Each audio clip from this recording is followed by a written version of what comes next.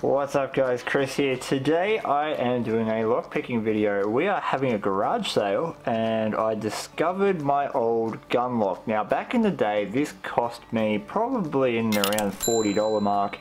Uh, which was pretty expensive for, for what it is, especially now that I know a little bit more about locks. And when I looked inside there, I noticed that they're all wafers. So I was curious to know just how difficult this lock would be to pick open.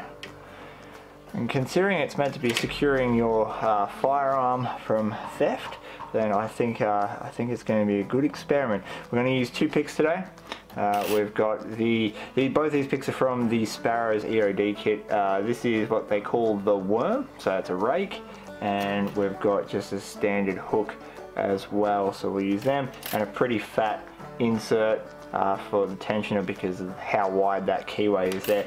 Alright, first things first, we're going to see if we can't single pin pick it. Now, it's the harder way of doing it, so it should take me a little bit longer than what it will with a rake if it's possible to rake it open. Mind you, it is only it is only a wafer lock. Alright, so I apologise about my hands, they're probably going to get in the way. This is the pick we are going to use.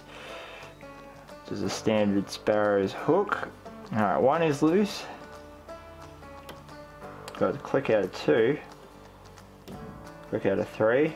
A little bit of a false set. Four set really high my wipers insert's getting in the way. Aha! Now we have it open. Alright, so that was that was really easy and then just slides out like that.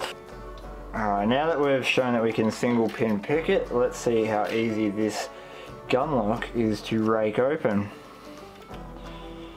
Alright, really pretty quite light tension. Put the worm in. Give him a few jiggles. False set. Oh. Aha, there we go. And once again, we've got our open. Well, considering the cost of this trigger lock um, to make sure that your firearms are safe, uh, $40 I could buy a really, really good, nice, pretty ABUS lock for the same sort of cost.